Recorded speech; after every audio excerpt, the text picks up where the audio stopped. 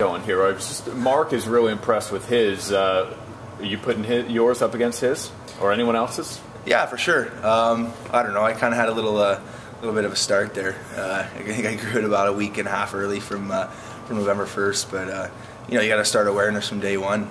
Uh, so that's what my whole theory was going into it. So you were planning on doing this from the get go anyway. I know it's sort of a voluntary thing, and not every guy is, is doing it or can grow a mustache maybe to the point where they it looks impressive enough. But you were you got a head start here. Yeah. Oh yeah. I was thinking about it. I don't know. Uh, this time of the month, uh, well, the year, I guess you can say, is always a fun time. You know, it's good to good to get out and show awareness for anything. I kind of like to get involved with uh, you know things like that, and even the guys that can't grow, you know, are showing uh, showing good awareness and uh, effort towards anything. You know, some guys look kind of funny. Some guys, you know, can actually grow mustaches. But uh, all in all, it's uh, you know for a good cause, and that's the main thing. Any specific reason you had the, the foresight to get out in front of it and, and support? Obviously, I know it's a prostate cancer thing, but really for all men's cancer.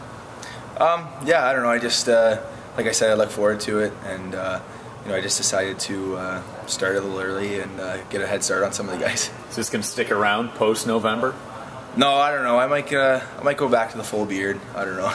We'll see what happens. I grew my beard out last year for about five months, so that was kind of a kind of a little wild thing. But uh, I don't know. We'll see what happens. I'm kind of kind of erratic, so I just I don't know. Whenever I feel the morning, I just go with it.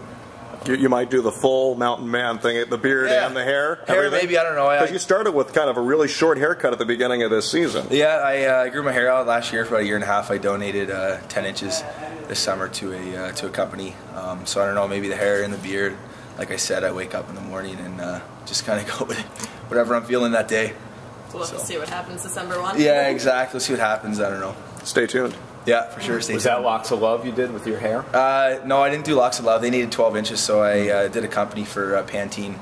Um, know, there's a couple companies out there that uh, accept different lengths, and I uh, I cut 12 off, but I only had 10 to donate, so that kind of met the guidelines for that one company.